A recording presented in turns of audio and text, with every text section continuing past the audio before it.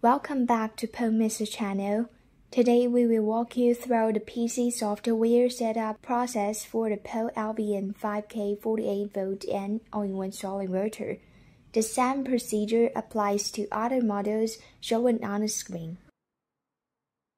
To begin, connect your powered-on inverter to your computer using a USB A to B device configuration cable.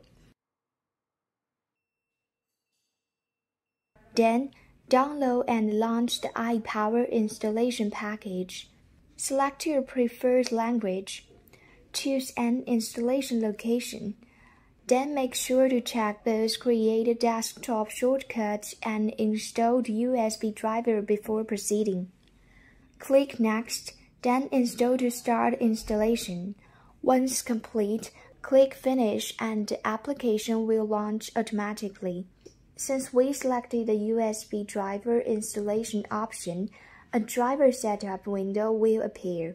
Simply click Installation and wait about 10 seconds for the process to complete. Now open the iPower application. You will need to select the correct COM port for your inverter. If you are unsure which port has been used, unplug the communication cable and reconnect it while watching the COM port options, the port that changes is the one your inverter is connected to. With the correct port selected, slide the communication toggle to the on position. Then click Search Device. After a brief moment, the software will establish connection and begin displaying real-time data from your inverter. You can now ready to monitor and configure inverter through the PC software.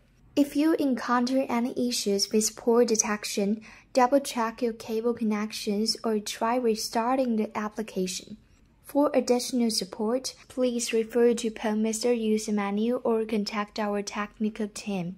Thanks for watching and don't forget to subscribe for more helpful guides.